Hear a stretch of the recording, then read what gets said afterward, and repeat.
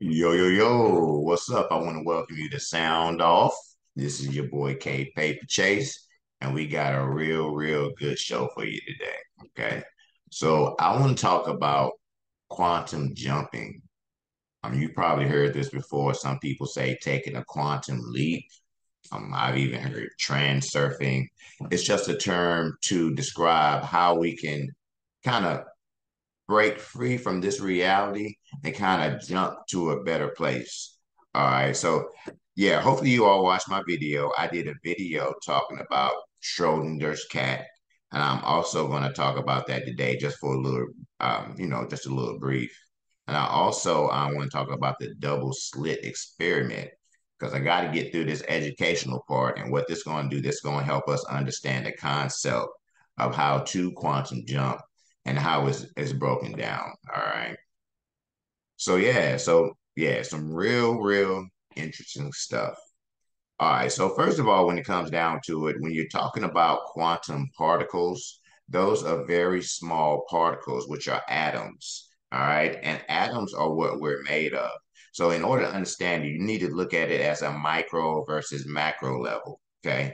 So even in one atom, which is very, very small, that is enough information to reproduce everything that the atom came from. So if you know about fractals and stuff like that, you probably understand. All right. And the thing about it, um, first we'll talk about this cat thing, right?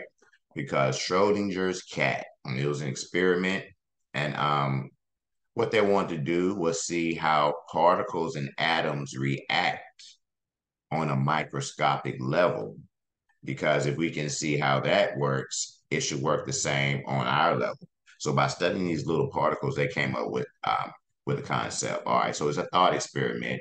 And the cat experiment is the cat is locked in a box, but there's a sheet over the box, so you can't see the cat.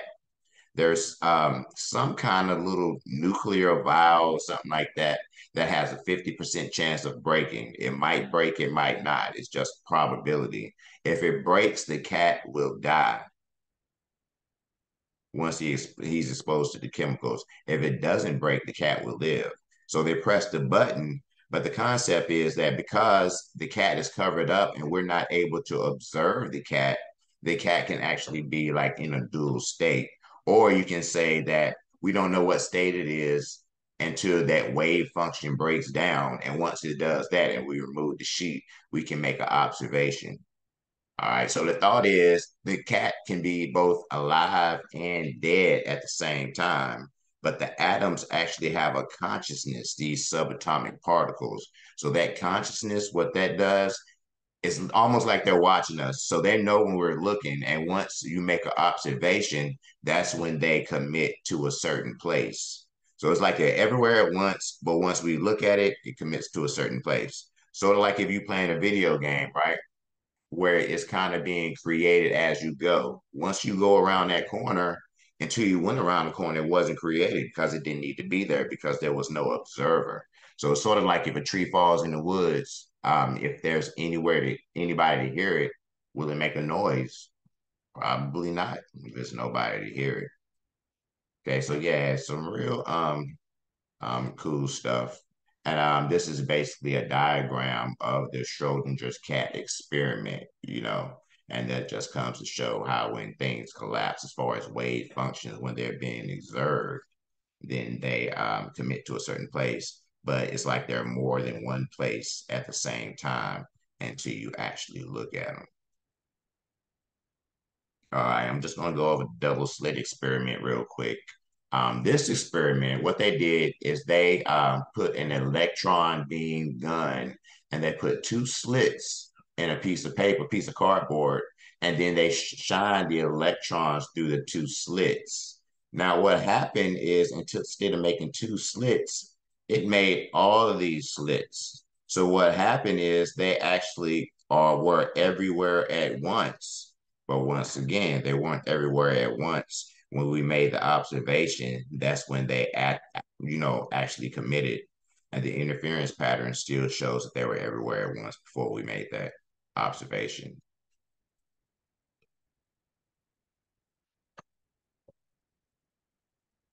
All right. So, you know, what it suggests is that, you know, particles, they can be at two places at the same time, and they can act as particles and waves. So, depending on what they need to do or their function, they can switch back and forth.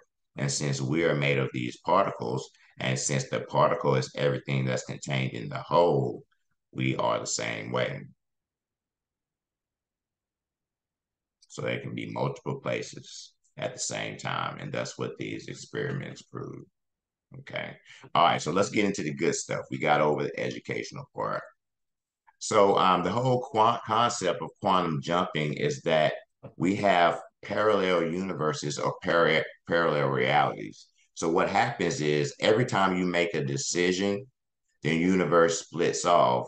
The decision that you make is the world that you go to, and the decision that you didn't make is, you know, still going on too. Because you got to uh, remember, if this is an infinite universe, then every single possibility, every impossibility, everything has to exist somewhere. So what I want you to do is I want you to think of it as in uh, dimensions or vibrations instead of space. You know what I'm saying? Because we're not going anywhere, but everything is right here, but it's sort of rolled up into different dimensions. And we're not actually going a far distance. We're raising our vibration to that dimension so that we can switch over. Okay. So, yes, if the universe is infinite, it has to be a plane, and there has to be every probable outcome that's playing out. And it's playing out all right here, right now, at the same time. You don't have to go anywhere. Our reality is everything uh, that's around us. Okay. So, what I want you to think about is this is not how a parallel universe looks. So it's not going to be sort of like the many worlds theory. It could, but not this concept as far as us floating out in space.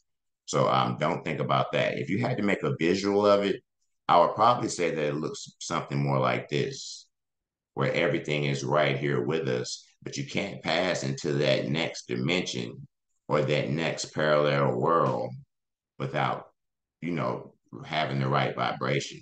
So it's not that far. They're actually stacked right beside and on top of each other. This comes up 3D too. So they're stacked on top of each other. So it's not anywhere that we have to go. We just have to change our vibration, change our way of thinking.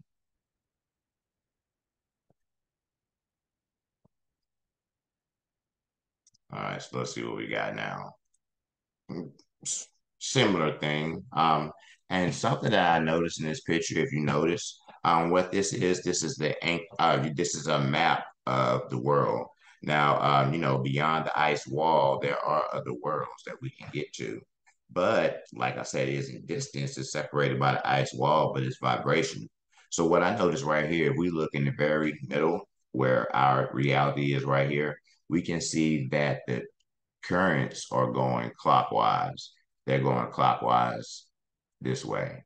And then on the next realm, or that, that higher realm, they're going counterclockwise.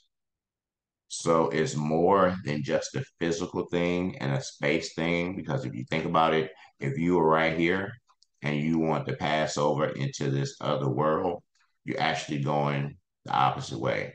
So that's a crash. So it has to be some way to get past that. That's why I say it's more of a mental thing than an actual physical thing, because there's no way that you would be able to have that current and go into this world with the opposite current, you know what I'm saying, without being just obliterated. You know what I mean? So what I say as a quantum jump is when we're actually able to jump into one of these realities by our thoughts, by our visualization, by raising our vibration and living that now.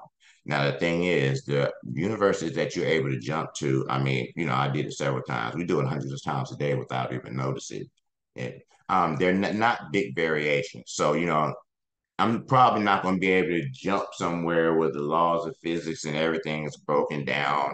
And I'm like a little flat line, like on flatland, walking around, no 3D stuff. It's not going to be like that. What it's going to be like is more of um, a decision you made. Like, okay, am I going to go to work today? You didn't go. But you know, that also the possibility that you did go. You don't see that possibility because you're here right now with the choice you made. But it could be possible to switch over to that. All right. So one example that I use, um, I do this a lot for my car keys, or if I'm missing something. Um, car keys, I know I put them right there on the table. They're not on the table. I'm looking for him for about 30 minutes. After a few minutes of looking for him, I always just stop looking for him and just sit down and chill for a minute. So I said, all right, I'm gonna take a walk. So I walked down the street or to the store and I came back and the keys were right there on the table. so we probably go through this phenomenon all the time. So somehow I switched back, but I, after I walked to the store and did my visualization and cleared my mind, I was able to switch back to the reality where I knew where the keys were. So you got to be careful. And yeah, I'm definitely going to have a part two and part three that's going to be more in depth about this because we can actually go forward and backwards. That's why I thought that, um, you know, what you manifest is so important. We can go forward and backwards. So by having a negative mindset, you might regress back into a world that's not as good as this one. You might go somewhere, a reality where you didn't get the job. You see what I'm saying? So you got to be real careful with that. So um, just some quick rules that I would say, um, you know, real quickly. Uh, like I said, we'll get into it more later.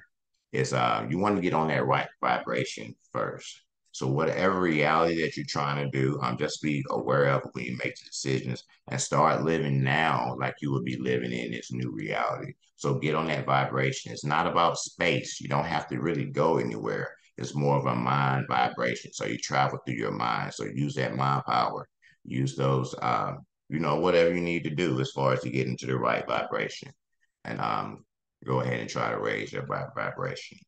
You have to have intention and self reflection. You got to be able to look at yourself. You got to be able to face the good and the bad because knowing yourself is the only way that you're going to really be able to raise your vibration.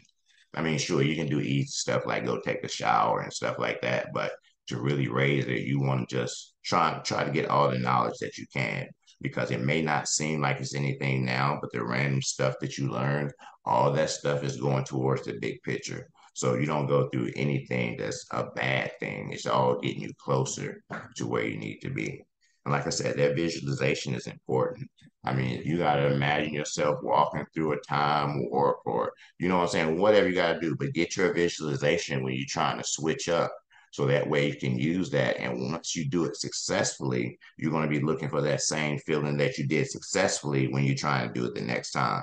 So that way it'll give you a kind of gauge and you'll know. You see what I'm saying? And like I was saying about space, um, there's no such thing as outer space. Um, when you think of the Big Bang, don't think of that as outer space. Think of that as like an inner space. It's the darkness because remember, everything comes from the darkness. The darkness creates everything. Everything is just pixel of light that's created from inside the void. So that void is not hundreds of thousands of miles away in outer space, it's within yourself. So think of it that way. And I think that'll help you too. You know what I'm saying? Just have a little bit more control over your intentions. Always know, I say this all the time, that thoughts are things. So we're going to think of them in terms of zeros and ones. You know, think of it like a computer game and you're creating as you go instead of the earth already being created and you're trying to adjust to the rules of the earth. No, don't do it like that. That's bad backwards. All right. So make sure um, that you're thinking about that instead of space and time. You're trying to make a smooth transition. So you're trying to transition to another vibration. You're not actually trying to travel anywhere. It's not a distance thing. Okay. So instead of going somewhere, you actually merging with a different part of reality. Now remember, it's not out of space. It's right here. It's within you. It's right here, right now, all the time on this realm. All right. Yeah, so I just wanted to do a quick video. This is like a preview. I just wanted to test this out and kind of see what people thought. Try to um, see how you all feel about the concept, you know, how far I should go into it, if it was understandable. So definitely, y'all leave me some comments. Let me know because this is just part one. I wanted to kind of be like an overview. But my part two and my part three are going to have steps. I mean, we're going to really get into it. But I want to check with you all first with this part one, just to make sure everybody understand. Ask your questions. I'm going to go live for this part one. Not sure if it's going to be today, but it might be, or it might be tomorrow. And um, we're going to build on this and see if it's something that, uh, you know, that you all are interested um, in exploring with me. All right. So I want to thank you for joining Sound Off. This is your boy K Paper Chase. Be on the lookout for lots more videos. Hey, and I want to thank everybody for the 1,000 subscribers. It happened on my birthday. I always visualize and make stuff happen on, on my birthday, and this was exactly on the same day. So thank you. So, you know, we're growing. Um, definitely share, like, subscribe, to the video, subscribe to the channel, you know, support the channel. And uh, thank y'all for everything. I'm out. Peace.